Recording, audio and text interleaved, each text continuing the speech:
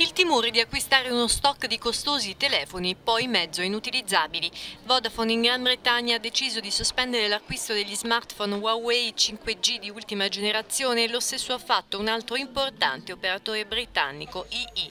La decisione è conseguenza della minaccia di Google, finora sospesa fino ad agosto, ma poi chissà, di non cedere più i suoi prodotti e servizi a Huawei. Un effetto domino la decisione di Google dopo l'ordine esecutivo di Donald Trump che vieta alle aziende americane l'acquisto l'acquisto di prodotti rischiosi per la sicurezza nazionale, tra cui quelli di Huawei.